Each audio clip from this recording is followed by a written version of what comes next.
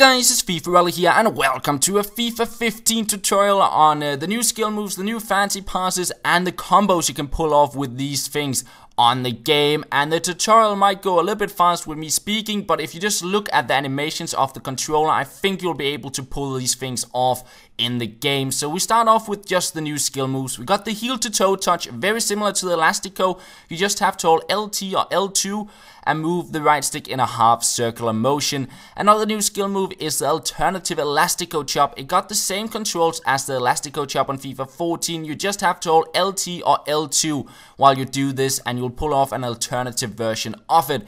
Now, a skill move that was introduced in the World Cup game but wasn't on FIFA 14 and now is on FIFA 15 is the spin. And it's very easy to do. You just flick the right stick diagonal backwards, either to the left or to the right in order to spin to, to the side. And it's a very useful skill move in my opinion. And uh, two of the new fancy passes, which in my opinion look pretty cool, is the scoop pass and the 360 pass. And they're relatively easy to pull off. Just hold R1 and RB and pass it either backwards or to the side, depending on which one you want to pull off. Now moving on to some of the new combos, we got step over combos. Step overs are usually really good to make your skill combo look cool.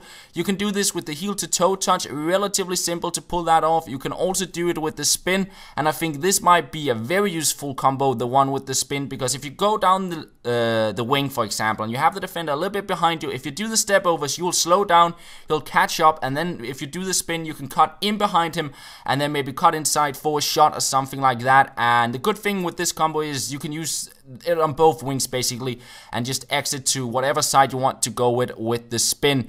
Another little combo you can go with is step overs into the alternative Elastico chop. Now this might be a little bit tricky because you have to hold LT or L2 when you do the uh, alternative Elastico chop and if you're too close to the defender you'll shield the ball and you'll not pull off the skill move so you'll need a little bit of distance to the defender when you pull this one off and maybe you'll be able to beat him because it's a pretty big skill move like uh, in order of like how much space you cover when you pull off that skill move so you might be able to pull it off but it will maybe be a little bit tricky to look good.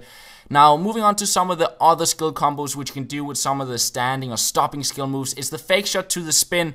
And I think just as the step over to the spin skill combo, I think that would be a pretty useful combo. If you stop up in front of the box, the defender comes towards you and then you spin around him and get in for a shot. And uh, then we got the fake Rabona to the alternative Elastico chop. I think this might be pretty good out on the wing if you have distance to the defender. Now remember, um, if you're too close to the defender, you will shield it instead of doing the alternative Elastico chops. You'll need a bit of distance, but if you have enough distance, I think this could be a, pretty good combo to, to go past the defender out on the wing with.